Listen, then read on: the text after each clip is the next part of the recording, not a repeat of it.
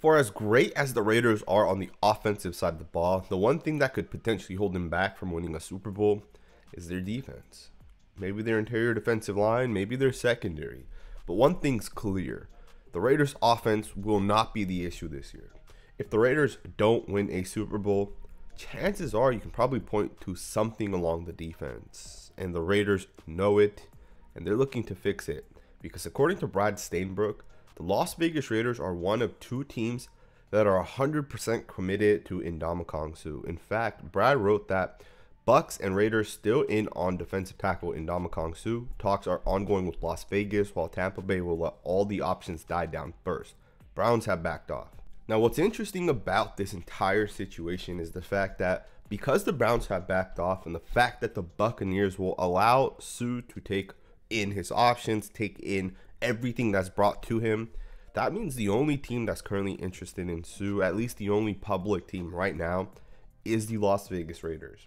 And we are one day away from the June 1st cuts officially giving the Raiders some cap. And what's crazy is the Raiders, unlike a lot of other teams, are getting a lot of cap. You know, most teams get five, six, seven million dollars. The Raiders are getting almost $26 million in cap space literally tomorrow. They will have that cap space to spend, and they can spend it on whoever they want. And Suh may be a great option for the Raiders. Maybe he costs $5 million, maybe he costs $6 million. But the thing with Suh is over the course of his career, he's always been productive. He's always been a guy that can get after the quarterback, get stops against the run, dominate the guys lined up across from him, and he's very consistent. He's only missed two games over the past five years, which you can't say for a lot of players. And in my opinion, Ndamukong Suh not only provides a consistent football player, he doesn't only provide a new player for Patrick Graham to use, but he provides a three down player for the Raiders. And that doesn't mean he has to start and play the entire game, but he can come in and play six to seven snaps at a time. He can come in and really help the Raiders get better you know, Maxx Crosby's going to get double team, right? Right tackle, right guard may slide over to Maxx Crosby. And then Chandler Jones on the opposite end will get chipped with a running back or a tight end. So essentially, you're going to double team those two defensive ends. Are the Raiders' interior pass rushers good enough? Johnathan Hankins, Bilal Nichols, Vernon Butler. Maybe it's the rookie Matthew Butler or uh, Neil Farrell Jr., but are those guys good enough to win at the point of attack on the inside?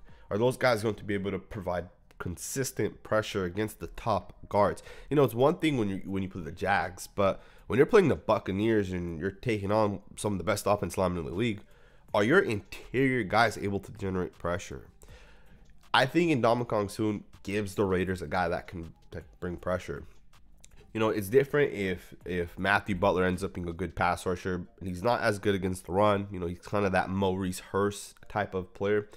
It's different when it's third and, and 12, right? You know it's going to be a throw, but when it's first and 10, you don't really know, right? So you need a guy that could not only defend the run, but he can get after the quarterback. And I think Suh would bring that for the Raiders. Of course, I think the cost is going to make a big difference of if the Raiders bring him in or not. If Suh wants $15 million, the Raiders aren't paying him. And I'm sure he doesn't want 15. But even if he wants something like 8 million, I think the Raiders would hesitate on bringing him in. A, couple other options for the Raiders in the interior defensive line is a guy like Gerald McCoy, who could be a really solid option for the Raiders. Obviously, he was here last year, didn't work out. He ended up getting hurt. And if it's not a guy like Gerald McCoy, maybe it's a guy like Akiem Hicks, a guy that's been very consistent over the course of his career, a guy that can absolutely be a every down player. Yes, he's up there in age as there's Gerald McCoy and Suh, but they're all great football players, or at least they were in the past. And when you look at when you look at defensive linemen, age doesn't matter as much. Right? I remember Richard Seymour coming to the Raiders, and he was up there in age, although he wasn't as old. Uh, but he was still a dominant player at 30 and 31 years old. Like Richard Seymour was one of the best defensive linemen I've ever watched on the Las Vegas Raiders, or, or at the time Oakland Raiders. And I think a guy like Gerald McCoy or Akiem Hicks could also provide that. And if you want to stay a little bit younger, maybe a guy like Darius Philon may, make a little bit more sense, right? Philon was with the Raiders last year. He had some success. Obviously, an injury kind of uh, derailed his season. But if he's healthy, maybe he's another option you can bring in.